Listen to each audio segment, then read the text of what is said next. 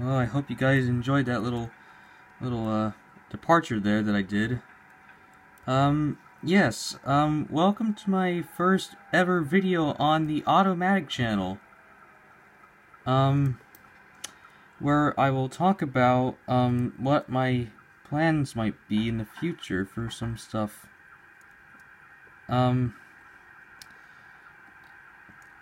as you can see over here, or, I should rather say, as you can see, we are obviously on Train Simulator, and, um, oh, and there's a, uh, a gas turbine, or turbine, whatever you call it, going by right now, and there's something I thought I should, I thought I would do for myself, um,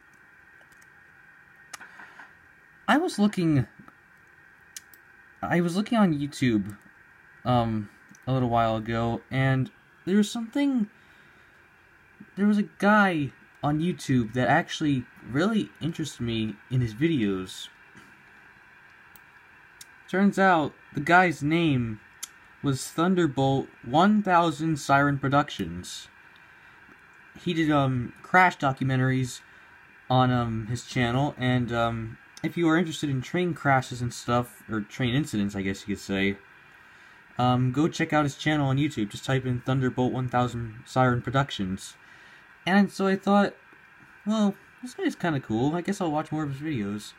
And um, I came across his Engines of Septa videos, which are where he talks about um, the engines, you know, the trains that um, you know, the Septa company owned. It's it's basically his his um this series that he made, I think he said it was um, originally an, an, an idea that was brought up by someone else. I think the guy's name was Amtrak Guy 365, and he did basically his version, which was called Engines of Amtrak.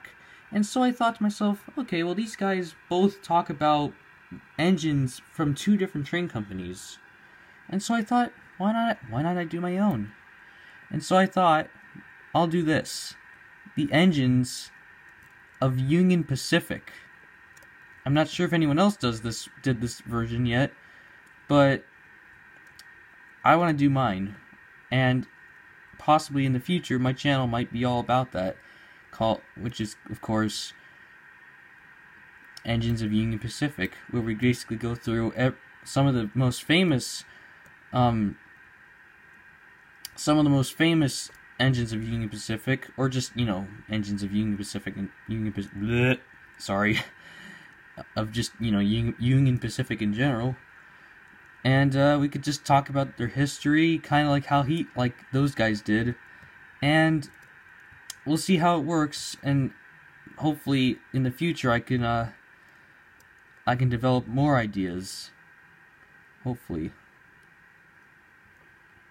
But this is just um, something I just wanted to do, and I'll see how it works out. Um, so in the future um, of the channel, we'll hopefully see um, more videos after this video on the channel, and hopefully you guys will like it.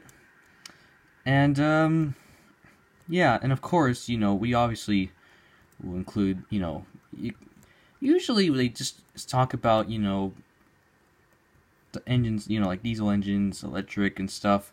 But I thought, you know, why not include a couple steams? I don't know if this, I don't know if this, I don't know if this will ever be included. That's kind of an oldie. It's kind of an old one. These engines, however, might make it into the into the talking, the the uh, the discussion, I guess. Well, of course, because, come on. These are the classic ones, including this one. Anyways, um, so yeah, um, we'll talk. We'll basically try to in the videos. We'll basically try to talk about each and every single one of the get of the um of the engine. Well, not maybe not maybe not all the engines, but some of the engines. Most of them, I guess. Most of the engines of Union Pacific. And I hope you guys actually might enjoy that. If you guys are train enthusiasts and you love Union Pacific, well, these well this might be the right channel for you, because I love the Union Pacific locomotives. And so, um, yeah. Hopefully you will see some interesting stuff in the in the in the future of the channel. All right, so hope you guys enjoyed this quick little short video of me talking about the discussion of the future of this channel in the in the in, well yeah what this channel will be like in the future and um yeah I just want to make sure that this video doesn't um go any more than 15 minutes I'm just trying to make sure it goes doesn't go further than 10 minutes for now because I, I I'm struggling to actually upload videos this actually is not the first time I tried to upload a video onto my channel this is like one of the very few times where I'm trying again and again and again and uh, well, it usually never works. So I'm gonna try and keep this under 10 minutes. So uh, we're just about we're almost at eight minutes. So let's try and let's try and cut the video soon. And so, all right, so yeah, I hope you guys will enjoy this this new um, idea for the for the new channel, even though it's it started back in 2017, I think. And uh, yeah, so this is this is OttoMatic OttoMatic. Remember that? And yeah, that's me. That's me, my name. Signing off.